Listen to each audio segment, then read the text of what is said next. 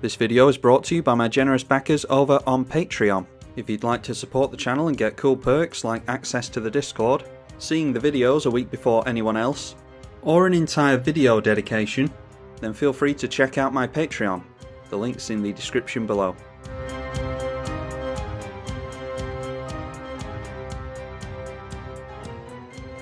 This video is dedicated to Mike82. Mike, thank you for your continued support. A potentially brief return to 1v1. We'll see if I manage to keep the schedule up. Queen Marchesa versus Morophon the Boundless. Absolutely no idea which tribe our opponent's gone for. Haven't played 1v1 in the longest time. Alright, it is Sliver Tribal by the looks of it. So let's see here. We can just go for a tapped red source, I think. Then following things up with another sliver, so it's a buff to toughness, and they all have vigilance now. And we'll just take hit for one.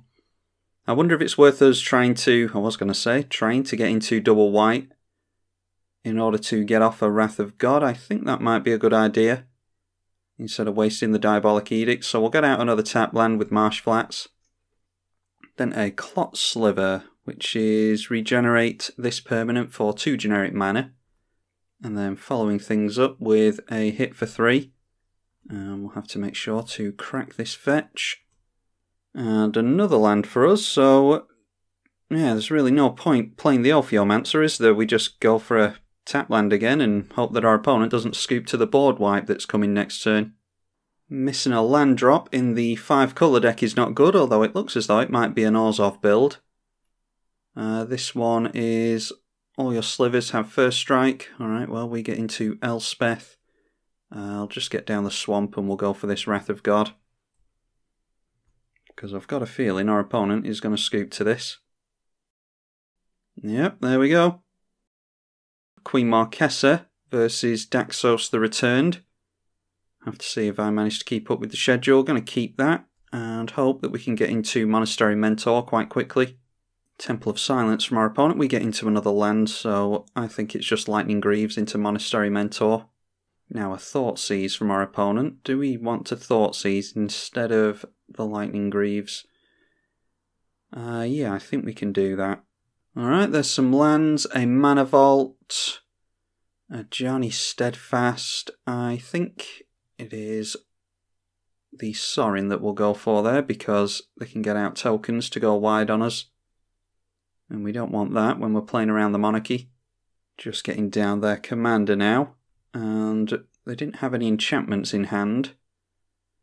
So I don't know if I'm all that worried about playing out anything other than the Monastery Mentor, to be honest. We can go Monastery Mentor and then Darksteel Mutation next turn. The Mana Vault coming down now and probably going into their Planeswalker. Yep, Ajani Steadfast. And then they get out Tocatli Honor Guard. Creatures entering the battlefield don't cause abilities to trigger. Yeah, I don't really care about that. And they get some keywords on Daxos as well as a plus one plus one buff. We get into our fourth land, so we'll definitely go in for that. And I think it's just Darksteel Mutation. And then we can go Despark onto a Ajani if we're really worried about that. Let's go Darksteel Mutation onto Daxos to try and keep them off of their um, experience counters. Then we'll go for the Greaves as well to protect our Monastery Mentor. Thinking back now, we could have waited on the Darksteel Mutation and swung in at Ajani. I think they might have blocked with this and it just gets rid of another permanent. As it is now, they can just block with the Indestructible, so we'll hold back. Now, Auramancy coming down gives all of their Enchantment Shroud, but they don't have any. And then another scoop. That is the second early scoop in a row, so hopefully you're not seeing these and I actually managed to get a good game, but if you are seeing these, then just assume that I didn't. Okay, a third attempt at getting a game with Queen Marchesa against Muldrotha the Gravetide this time. And I'm hoping that you're not going to see the first two games because they were just early scoops. Tap land from our opponent, we get into Demonic Tutor. Let's see about going for the Scrubland here into Duress. Now then, the Search for Azcanta, Seal of Primordium. They've got an island for the Search for Azcanta, which gets them closer to a land, so we'll get rid of that. I don't really want them to have Rhystic Study either. But I'm hoping that they'll be further away from a land if we get rid of this. Alright, going for reassembling skeleton. And we've got a path to exile, so what do we want to go for here? We could just go straight into Sol Ring in an attempt to... Actually, that wouldn't help us get down our commander next turn, would it? It would have to be Mana Crypt. And that just accelerates us ahead because we do have quite a heavy hand. So I think we need to try and draw as many cards as quickly as possible, as well as accelerate our mana. So probably getting down our commander next turn. And they didn't manage to hit that other land, which is exactly why I went for the search. Uh, so we go Blood Crypt in Shocked. Go for the Mana Crypt, and we'll get down our Queen Marchesa. Not going to swing in, because our opponent will be able to take the Monarchy straight back off us. And getting to Anguished Unmaking, this is pretty much removal dot deck. As we're seeing here with all the draws. Fourth time's a charm, hopefully. This time up against Brago, King Eternal with a one lander. Do we keep a one lander just for the sake of trying to get an actual game going? Try and handicap ourselves. I don't think I'm that desperate yet. Alright, that's okay. So we'll keep that. Get rid of the virtue. Then a Field of Ruin from our opponent. So let's go for... Uh, we can go for Blood Crypt in tapped. And then a white mana gets us into Castigate next turn. Another colourless land from our opponent. So they're not likely to be anywhere close to their commander. Might be that they're even further away after this castigate. Okay, we've got some good stuff there. There's Generous Gift, Nevermaker, Deceiver Exarch is... Is that a potential combo piece? Well, we're getting rid of the sword here anyway. Alright, deciding to go for the Field of Ruin to get themselves into some coloured mana. Uh, what do we want there then? We want we could take double white from Marsh Flats. Yeah, let's just go for a swamp here. And then it's another plains for us, so we go in for a tap land from the Marsh Flats because there's nothing else to do. We could be really mean and go for Vindicate onto the island, but our opponent's just going to scoop if we do that, which would actually be a fair enough scoop. And this video is apparently going to be a quest to get a real game going. Still nothing for our opponent to do apparently, so we will crack this and go in for the, what is it called, Sacred Foundry, I think. And now our opponent's going for something in response. Okay, Deceiver Exarch. Tap a target permanent, untap a permanent. Not sure what the aim with that is. Tapping down our planes, which won't do anything. And then it's another land for us. Let's get down the Mutavault so that we can knock Summoning Sickness off of it. And we'll get down our commander. Again, not going to swing in because I don't want my opponent to draw into that white mana they need. Or I do, but I don't want to help them to do it. another colourless land, that is four. Our opponent might be running too many. Alright, and the attempt at getting a game continues, so hopefully you're all getting some amusement out of this. I think I've kind of decided that I'm going to try and make a jokey video out of this one. There we go. There is one that says they want no CDH, but they want an optimized deck. I think ours is around power level 8, so we'll try our luck with this one. This time it's Karametra, God of Harvests. Uh, we have access to red there. We can get out our Liliana or our Ophiomancer. Let's keep. No, apparently not. They want an optimized game that is not CDH, but not against us, or not against Queen Marchesa. What is it now, the sixth time? I don't even know. Uh, we are on the play, so if we have an extra land, that's actually pretty good. But uh, eh, for the sake of it, let's just keep it. We'll give our opponent a handicap or we'll give ourselves a handicap and give our opponent half a chance of getting into something against us. Because our opponents are having a really tough time against Queen Marchesa today, apparently. Alright, that's a great draw. Managed to get into a mountain, ready for Bitterblossom. And that sets us up for Skullclamp next turn. So there was a bit of luck involved there, as there is in most Magic the Gathering games, but we did keep an opening hand with Skullclamp and Bitterblossom, so we ought to be drawing a lot of cards. Another tap land for our opponent. I don't know if this is the same opponent that was playing Brago last time, but at least if it is the same player, they've gotten into some uh, coloured mana this time. Alright, a path and a fairy rogue for us. We go Skullclamp and see if they want to swords the fairy in response to the equip. They do not.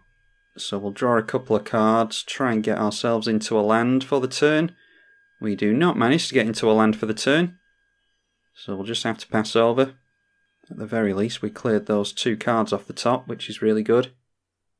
A third piece of white mana from our opponent, and they've got Miss Meadow Witch down, which it is a two mana creature, but you don't want to see it this early in the game, really. Anguished Unmaking for us, so we just go for another Skullclamp. And just carry on trying to get into some lands. Alright, getting into a plains. So we'll play that and we'll go for transgress the mind on our opponent. CMC 3 or greater. Ooh, let's see here. That's some stuff our opponent's got. Uh, Reflector Mage. Mm, don't particularly mind Reflector Mage, really. Grand Arbiter Augustin is going to be a pain, though. Yeah, we'll let our opponent keep the Thran Dynamo and get rid of that. Then out of all that, we'll get rid of Elspeth. And our opponent still scoops it up. Excellent. So I think we just need to go on a banning tirade again and uh, make sure that we don't come up against these players if they're just going to scoop every chance they get. What are we on now? Seven? Seven attempts, I think it is. Griselbrand isn't going to scoop early, surely. So let's certainly keep that. We've got three colours. And we've got some card draw as well. We'll just go straight in for a black and red source. Uh, Badlands, actually. I was going to go for a tap land, and then I saw that Duress. So let's go Badlands and Duress. Try and get rid of something really good from our opponent. Some ramp or something. Okay, that is a mana vault for sure. Swamp for our opponent, we get into Isolated Chapel. Let's drop the planes first, and we'll go for Night's Whisper. Keep our hand full. And it's a young Pyromancer for us. Not sure how useful that's going to be this game, but we could get it down next turn. Just for the sake of getting attackers into play. Council's Judgment is nice. Let's go young Pyromancer and we'll hold up the Path to Exile. Highly doubt we're going to be using that. But we'll hold it up anyway. Cabal Ritual takes them up to 4 mana. They're not going to Damnation here, surely. No, it is a Mastermind's Acquisition search for a card, put it into your hands, so I wonder if this is just a bunch of tutors in this deck. Alright, it's Mana Crypt they've gone for apparently, so I think that might deserve a Council's Judgment. We'll try and encourage them to board wipe. Or Bitterblossom as well, that's a shame that we're not playing that this turn. But yeah, we have to go in for the um, the Council's Judgment here because if they drop a land, they can go in for Bolas's Citadel. And then we'll swing in at them for two, hold up the path, and hope that they don't get into anything really good. We just need to deal with their mana in a Griselbrand deck. Holding on to that damnation for a little while longer seemingly, let's get down the Mutavault to knock the Summoning Sickness off as usual. Then it's Bitterblossom, holding up Hero's Downfall, and we'll swing in with Young Pyromancer. Managing to make a land every turn at least. Whenever an opponent loses life, you gain that much. Yep, don't care about that until Griselbrand comes down. So we're gaining our opponent a life every turn with the Bitterblossom. Arena Rector. I was going to get down Queen Marchesa this turn and swing in with the Mutavault, but if they want a board wipe, they're going to have to wrap up an Arena Rector in that as well. So, yeah, let's go for that. Looks as though they might be missing a land this time, which is good. They get rid of our Arena Rector with the Damnation. So, do we want Elspeth? Or do we want Ob Nixilis for card draw? I think we'll go Elspeth. Because that can get down a lot of tokens into play, but it can also board wipe on Griselbrand. Uh, let's go for the plus immediately. We can actually go and get Skullclamp with that Demonic Tutor now. But we'll introduce Queen Marchesa into the fray. Because that's free card draw as long as we can keep hold of the Monarchy. Another hit for 5 onto our opponent. We draw into the Grave Titan, just a case of hoping that our opponent doesn't manage to get down Bolas's Citadel into a bunch of stuff. They can afford it now. Alright, they went for Elderspell, so they probably had that in the hand when they went for the board wipe, hence the reason that they didn't mind wiping with a Rector in play. A Sol Ring, even more mana for us. Let's hold on to Grave Titan for now. We'll go in for the Sol Ring and then activate Mutavault. And we're probably going in for Skullclamp with Demonic Tutor after this, but we'll attack first. Alright, that is dragged to the Underworld, going on to, yeah, our Queen Marchesa. Don't really mind her leaving play now that she's brought in the Monarchy with her. Uh, yeah, so she can go into the command zone again. Then we're going for the Demonic Tutor, like I said. Go for the clamp, play the clamp. And then we'll get rid of some soldiers here. Lightning Helix. Oh, Intangible Virtue's nice. That is 2, 4, 6, and 8. 9, 10. Uh, yeah, if we can get down Queen Marchesa next turn, 1, 2, 3, 4, 5, and 6. If we get into a land, we can win next turn. Intangible Virtue and our Commander. So I'm not going to bother clamping again, we'll just hold up the path. Oh no, we'd have to activate Mutavault, wouldn't we? Oh well, still going to get down the Virtue.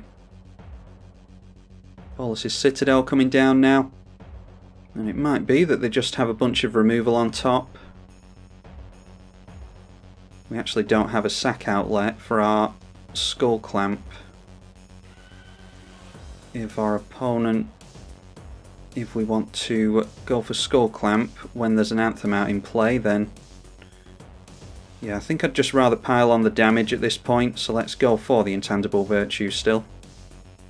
Animate the Mutavault, and then we'll swing in with everything. Alright, and then we've got Lightning Helix, so we can take our opponent out here. Get it done as soon as possible. So not particularly eventful, but at least it was a full game. Good for our opponent for sticking this one out. What did it take? About seven games to get a full game in and actually reduce our opponent's life total down to zero. So, my first return to 1v1 in a long time, and it wasn't a particularly pleasant experience to be honest, so I don't know if I'm going to keep this up like I said. Feels like a huge waste of time sometimes when you're trying to get games going. If I was in the same time zone as most of my patrons, then it would be a lot easier, but alas, I live in the UK, as you all know. Anyway, hopefully you all got a laugh out of this, me trying to get a game going for so long. Um, yeah, I will attempt another 1v1 round with another commander, and hopefully we'll have better luck next time. Leave it a thumbs up if you did like it, and subscribe to keep up to date. I'm Tribalkai on the EDH channel. Thank you for watching.